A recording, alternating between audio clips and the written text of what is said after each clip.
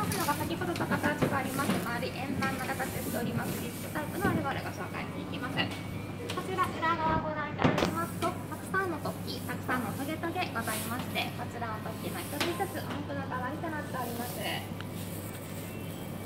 して本体見ていただきますとですね先ほどの楽器付きのオルゴールにもございました。串色と申します。弾くと音が出る板の集合体。串葉というものが設置されております。この上ディスクが通過することによりまして木にかかりましてポンポンポンと弾かれて音が出る仕組みとなっております。